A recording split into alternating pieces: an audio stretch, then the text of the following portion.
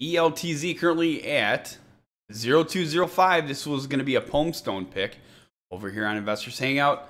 Uh, really, really good. Like I, you know, we we've talked about Pomestone uh, multiple times during our stream. You know, he'll he'll find these stocks, you know, way down here at the bottom, and then you'll check like a month or two later and look at. I mean, we we've seen that multiple times with him, and uh, as always, great job, great job as always. So. Uh, let's take a look at this is going to be the last time that we've looked at this one.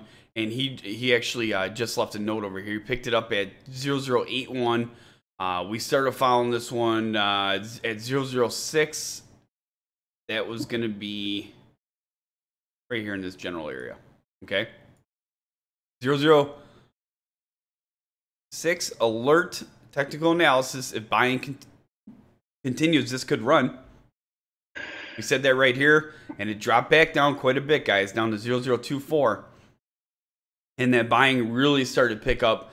Uh, you guys seen a huge volume spike coming into this one on March 23rd. You guys see that right here.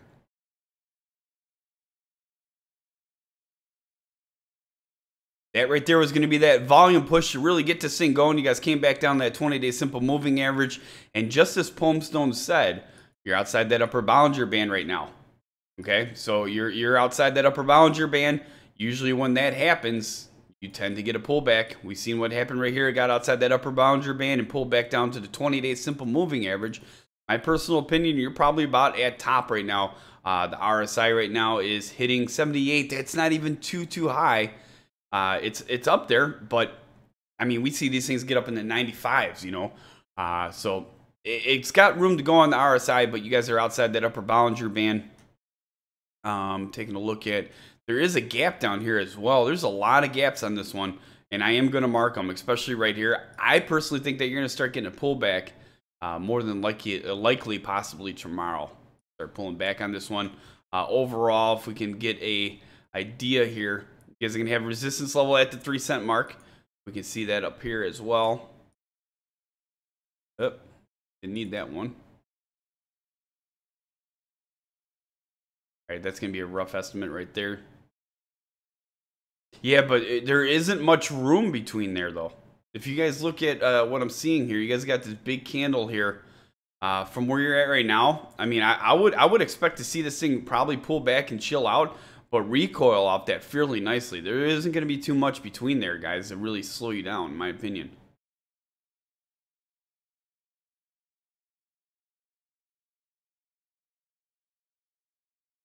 All right, we're going to have one line of support at 0185.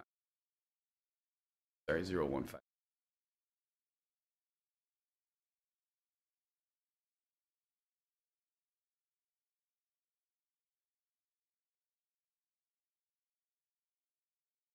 Yeah, we're going to put that 0158. There we go. So, Joe, what do you got to add on this one? It's been a while, man. It's been mm. since January 27th. Yeah, uh, let's see. On the filings, I'm seeing that there was a an 8K on April 4th. It was received. April 4th, 2017. Uh, period ending March 29th, 2017. So I'm gonna pull it real quick. See what's up. Let's see.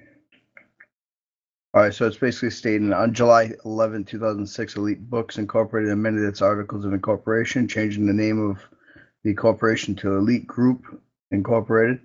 The company received the approval of approximately 67% of its outstanding shares of the common stock for the amendment to its articles of incorporation. The name change was effective on July 22nd, 2016.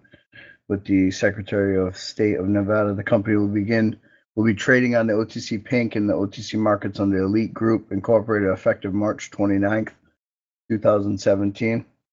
The company symbol remains ELTZ. So that's it.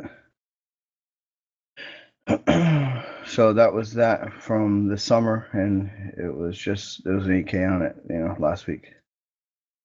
Let's see what else. All right, so I don't see any recent news either. I mean, the pink current, and not really seeing a lot on the company. I want to see what they do though. I'll go to their profile.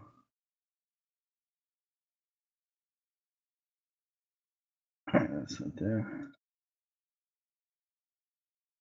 Oh yeah, so this one, um, their website's up, but it's basically uh, it's not active yet. Like it's probably something's being built or whatever because it says future home of something quite cool. So that's what's there right now, parked on it. So I guess it's something we'll have to sit back and wait on to see something cool come up. All right. Um, if you have an opinion on a company or looking to do more due diligence on it, just go right over to that that EL. Let me pull this back. This uh, ELTZ board on Investors Hangout. From there, you'll see the company profile, the time and sales, the recent news, the filings, the financials, the buy rating. As always, if you have an opinion on it, feel free to share it with the tens of thousands of like-minded investors that we have using the site daily.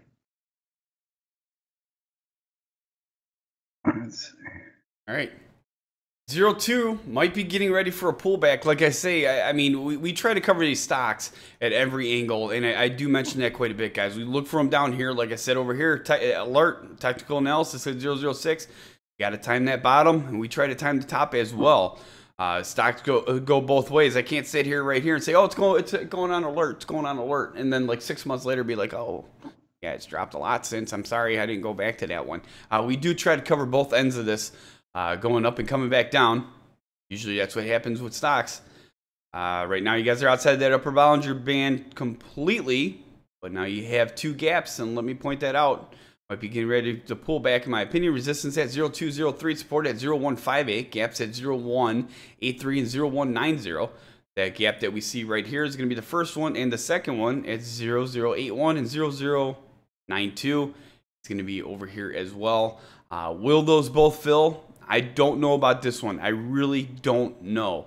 Uh, my personal opinion is that this one definitely will. More than likely, possibly tomorrow, pull back down a little bit. Uh, right here, we'll see. You guys are overextended. Either way, though, really nice moves. Doesn't take much volume to move this one, which is also a good sign. So ELTZ, if you follow this one, definitely encourage you to make sure uh, you hit that like and subscribe button. We'd appreciate that very much. Get out there and share this video with all other investors on different social networks and different stock message boards. That'd be great. If you have a hot stock you'd like to share with us as well, let us know over at investorshangout.com forward slash live.